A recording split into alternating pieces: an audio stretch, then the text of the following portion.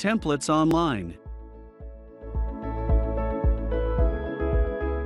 The data points of an assigned device can be integrated following some specific rules provided by the templates.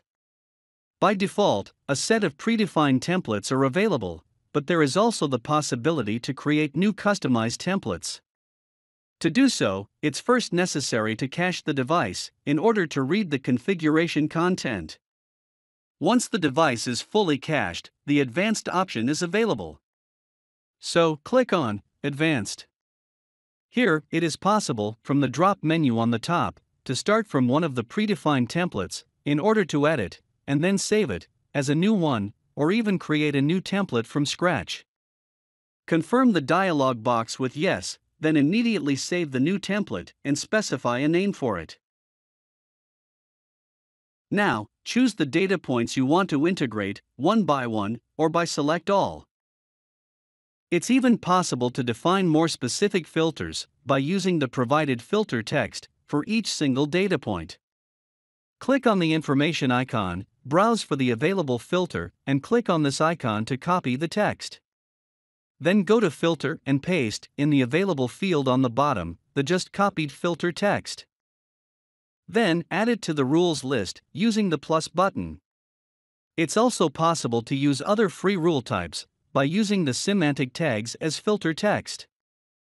For example, just type in the Finder field temp and sense, and unit in order to display all the temperature sensors.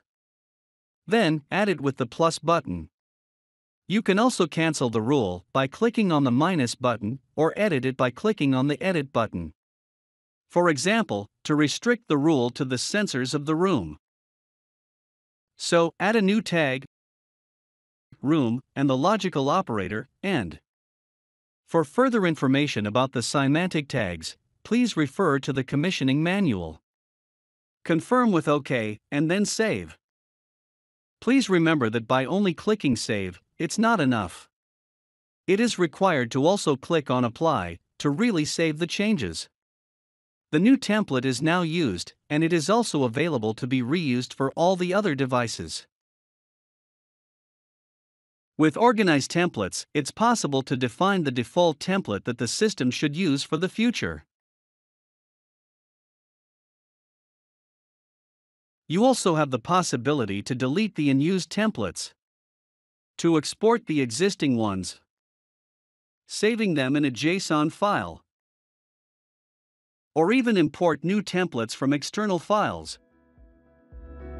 Once completed, you can close the dialog box.